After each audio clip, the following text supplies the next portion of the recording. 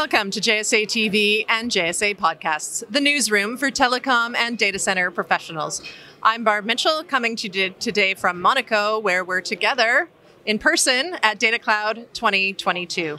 And joining me is Patrick Giangrosso, Vice President of MCFI. Could you uh, tell us a little bit for our viewers who may not know? I, I mean, I'm sure they all do by now, but for any who may not, can you tell us a little bit about MCFI? Yeah, thank you. So MCFI is an organization based in Austin, Texas.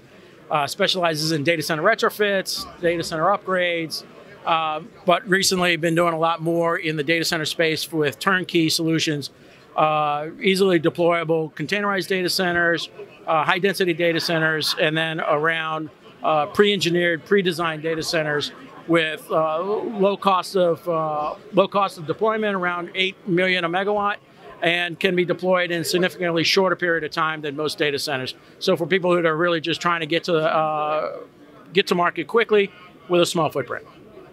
And, and so you mentioned deployments. I think you've had a lot of news this year already on some of your advancements and announcements and uh, deployments. Uh, tell us a little bit. give us the highlight reel if you if you can. Yeah, so one of the deployments we've just recently announced was with BBT in Midland, Texas.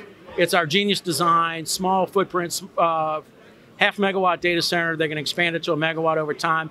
And it's really for their clients in the Permian Basin that are looking to measure, monitor, and control uh, their, their energy uh, uh, deployments throughout the Permian Basin. Uh, so that's one of them.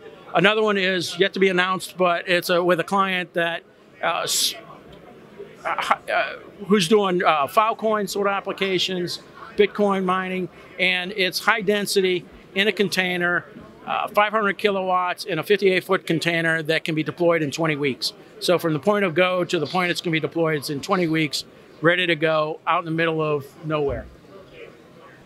Hmm, impressive.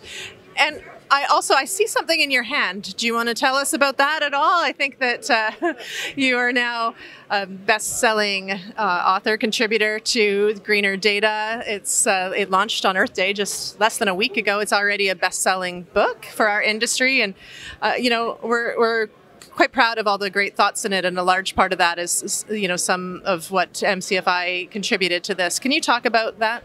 Yeah, so number one, thank you, JSA, for uh, really pulling everybody together and getting this done.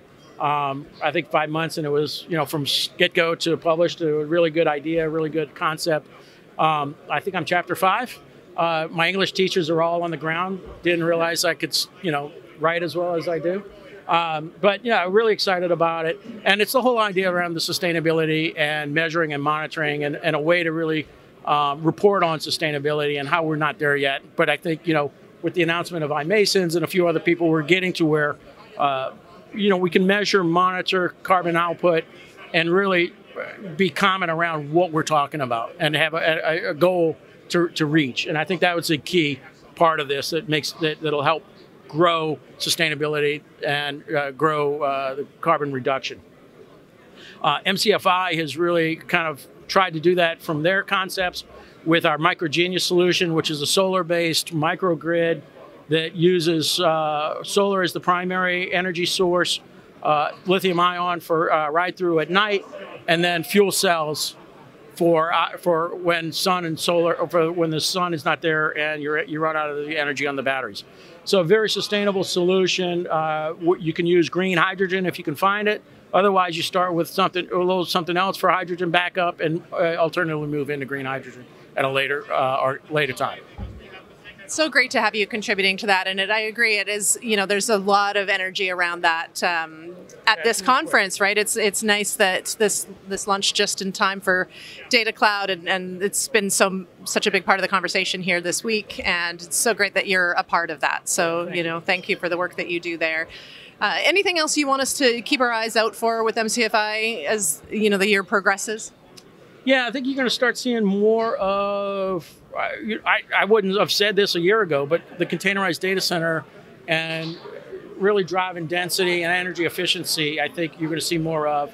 And I think this idea around being able to deliver a data center quickly in smaller footprints is something that's really coming.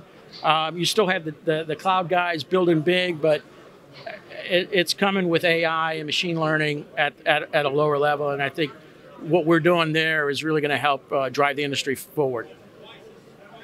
Thank you so much. Thank you for joining us today. It's nice to see you again. I mean, we saw each other a couple of months ago at PTC, but it's nice to see each other again. Good locations to meet up. I know they're, they've been we've been pretty fortunate, but yeah, yeah. So thank you, thank you very much, and thank you viewers for tuning in to JSA TV and JSA podcasts. Happy networking.